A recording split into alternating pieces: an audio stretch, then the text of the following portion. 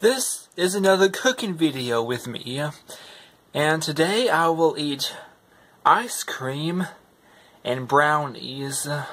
You ready?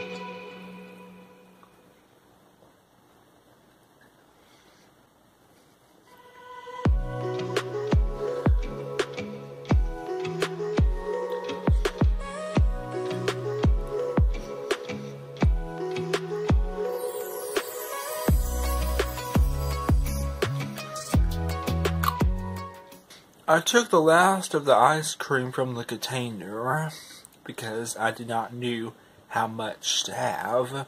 The serving size said two thirds of a cup. I could not measure it, so I just got the rest of it. Now it's time for the brownies. These brownies were part of a brownie mix in a box.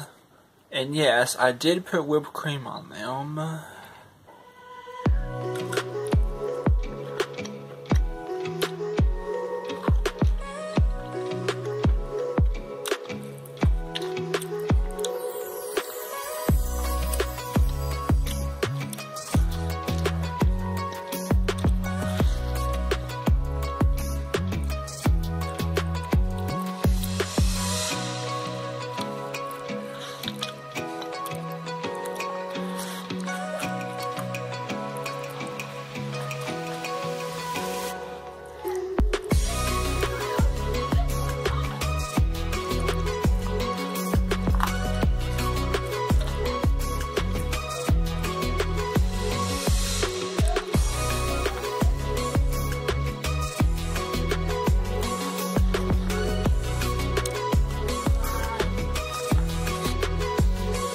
Last brownie.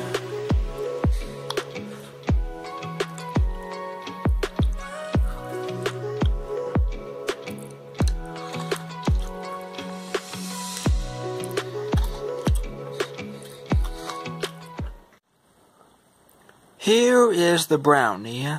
Here is the graham cracker at the bottom of the brownie. On top, there is the chocolate or fudge syrup and then here's the marshmallow.